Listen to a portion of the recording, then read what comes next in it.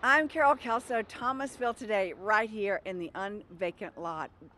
Do we have a program for you? You're going to have to stay seated. Do not get up. It's going to make your head spin. Right here, talking about Due South with none other than the Public Art Director for the Center for the Arts, Darlene Taylor. Welcome. Hi, how are you? I know we have a lot to cover, so let's get started. Why are we here in the unvacant lot? Well, everything happens in the unvacant lot, but this year for the 14th annual Due South Art, Music, and Food event, we start off with public art. That's the art in Due South, and we have Southern guitarists being honored and celebrated on the streets from. Now, how does that work? Okay, so from Stevens Street to Madison, you will have 30 guitars this size, almost seven feet tall, and each one celebrates a different Southern guitarist. What in the world? 10 in the unvacant lot, and then we have um, also have youth involved. Yes. And Five schools, right? five schools with 10 guitars, so there's a total of 50 guitars, Woohoo. and all of these artists are um, competing for awards cash Oh, there are awards, so- awards Yep. involved. All right. Now, Due South, give a little background to those who don't know. Due South involves Center for the Arts and what else? It, it involves, it's a The public, celebration of all things Southern Gotcha. the art, the music, and the food from the South. So, this is celebrating this year the Southern musicians and guitarists that attached our communities through their music. So, our theme this year is strings attached because we like to be, we're a connected community. We are a love connected each other. community, and we have so many great sponsors, and we're right here. Yes. We're going to talk about the sculpture in the unvacant lot. We're going to talk a little bit more about the guitars and the planter and the artists. So they're all public artists. Um, the public art is, is an opportunity for artists of all genres to come together and bring their mediums and do something spectacular. So this year we're celebrating Southern guitarists. Um, Speaking of spectacular, darling, I think this is the most spectacular due south that we have ever had. I do not know how y'all do it, but every year it just gets more phenomenal. All right, don't let me cut you off. Go ahead. Thank you. It's it's about 14 years of working with the same artist and then bringing a new ones into the fold every year, and they have become amazing. Mhm. Um, they, they do amazing work. So um, April 4th through the 27th, we will have the guitars and the public art up. That's 24 7 for Show. free. Right. Through the Rose through the Rose Show. Okay, the only thing you have to worry about buying tickets for is the concert on April the 20th, which is a Saturday. It's right here in the amphitheater. It's right in the Ritz Amphitheater from 6 to 10 p.m. If you get your tickets online, All they're right. a lot.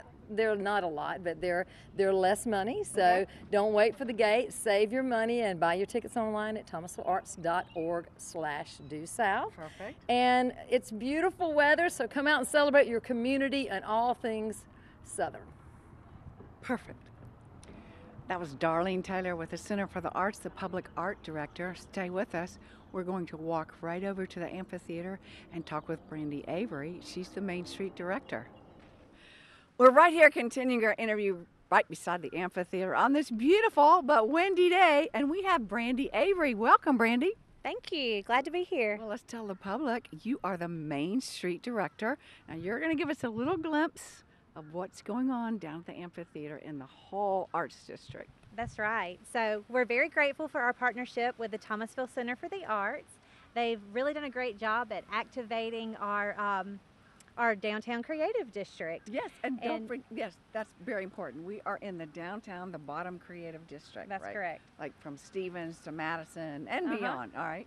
So there's a partnership between the city of Thomasville and the Center for the Arts, right? That is correct. So correct. speak to that a little bit for us. Yes. So, in order for them to be able to continue to activate this area, they reach out to us for our partnership.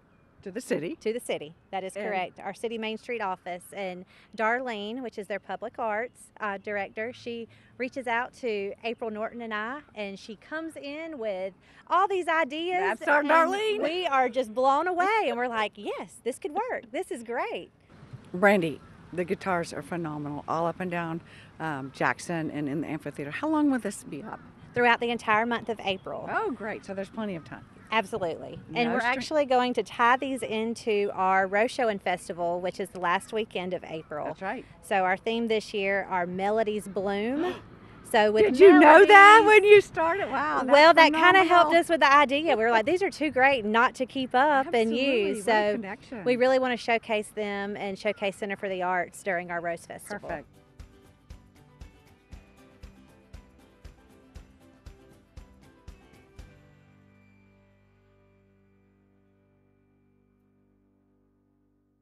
We are continuing all the creative opportunities going on for Due South. Today, right now, we are in the garage, the Fuzzy Goat Garage, and we're talking to none other than a hometown creative, Natalie Barfield. Glad to have you. Glad to be here and talk to you guys about my cardboard sculptures that are included as part of Due South. Now tell us, we're gonna, we'll, we'll scan some of these, and some of these are quilts, right? Yes, so there are three artists in here participating for this exhibit. That includes myself, Natalie Barfield, as well as Emily McKenna, who's done the quilted works here, and Sarah Simmons, whose work is displayed here and on the other side. So a lot of display, is everything for sale? Everything's for sale. Yes. Absolutely, Yeah. just like life, everything's for sale, right price. Dolly Parton is yours. Dolly Parton is mine. That's correct. America's hero. Yeah, I spent right. a lot of time making with her, making her, and she'll be included as part of this exhibit. Now give us a little background on how all the cardboard structure came into your eye. So I've done art for a while, and then during the pandemic, when cardboard boxes started stacking up, as we all became aware, I wanted to find something to do with them, as I'm an environmentalist during my nine to five job, and uh, I began assembling sculptures. So I was taking my Amazon boxes, thank you, Jeff Bezos, and I was making beautiful pieces of work from them. And you were, but the whole while you were building, you were listening to. That is correct. So while I assemble these sculptures, I like to tuck in and really dig in and get to know the people that I'm building, and that includes painted portraits as well. But while I was making this dolly, I actually listened to an audiobook where she talks about the history of each one of her songs, and that really helped inspire me as I made this. Great inspiration. And the Allman Brothers, any, And Willie the Nel- Allman Brothers, yeah. I listened to, I think it's Gregg Allman's memoir as I was making those. And it informed some of the piece. So as I was listening to Gregg's memoir, I learned that he was a motorcyclist. So for him, I gave him biking boots. Um, he also talked a lot about how he was much taller than his brother. So I created his sculpture yes, you taller than his brother. So I do draw from those memoirs as I'm making the sculptures. What a great segue. And being an environmental consultant. During the day, I'm an environmental consultant. But your passion, is art. all right. Yes. So what, growing up here, what grabbed your passion about the art and being part of the Creative Arts District? Um, well, growing up here, what probably grabbed my passion the most is characters. I've always grown up around a crazy cast of characters, and that's No names. No names. Everybody's safe, but um, I enjoy people that are a little bit different, right? And I think that's what I enjoy about the cardboard as well, is that it it's not able to be mass produced or recreated. There's an alchemy that comes with working with recycled and found materials. There's a beauty in the imperfections, right? Just like all Just of like us. all That's us. right. Perfect. Yeah. All right, how do I, we're located at the Fuzzy Goat Garage. When are you open? So the exhibit will be going on in Fuzzy Goat Garage, right beside Fuzzy Goat. We'll be opening um, on the first Friday tomorrow, and we'll run through April with public viewings every Saturday in April from 11 to 3 p.m. So every Saturday we can Every come in. Saturday. April 4th through the 28th. That's correct. Perfect. Yeah. Wow. This is so exciting. Yeah. And I don't think, I don't think, Thomas, I don't think we've ever had anything like this particular. That's why you need me. That's yeah, we need you. exactly. We're glad we have you. Yes. So when do we come? Please come down to the Goat Garage starting April 5th, running through April 27th, every Saturday in April. Perfect. This is so exciting. Can't wait. I hope you sell everything. But if you do Your purchase, you have to wait. Right. You have to wait until the end of April. Yes. So everybody else. pick up. That's correct. enjoy. Yeah. Great. Perfect. Thank you, Natalie Barfield. Thank Looking you. forward to this.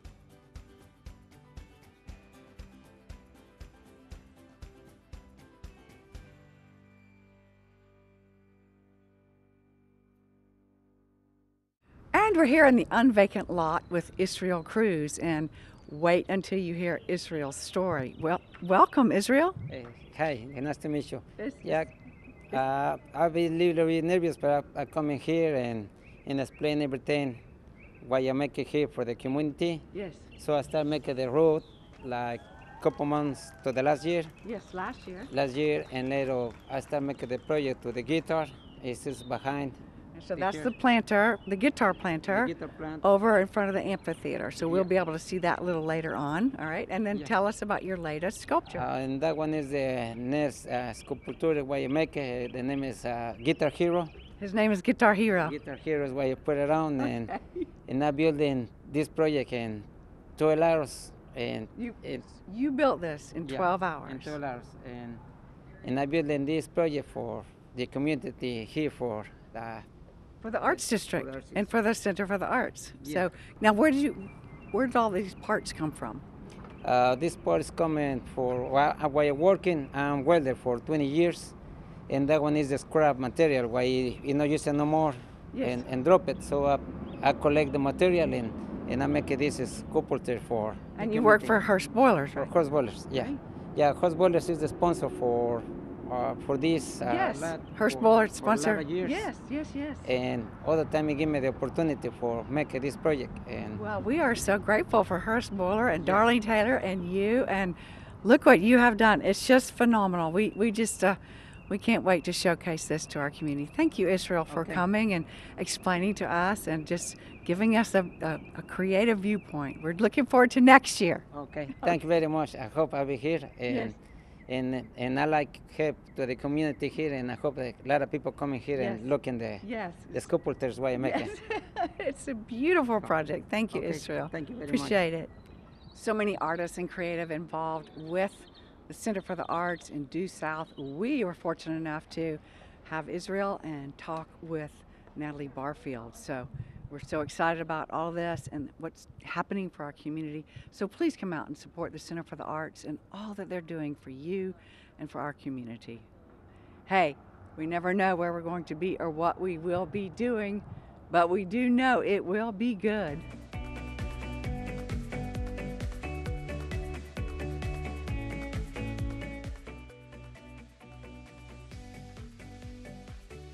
We've nailed that down. I'm Carol Kelso, Thomasville today, right here in the center. No, we're On the not. unvacant lot. Where are we? No. I haven't been drinking. It's the drugs. Um, how long? And you can uh, use that long does it excuse. Yeah, keep it's it a- up? Okay. Okay.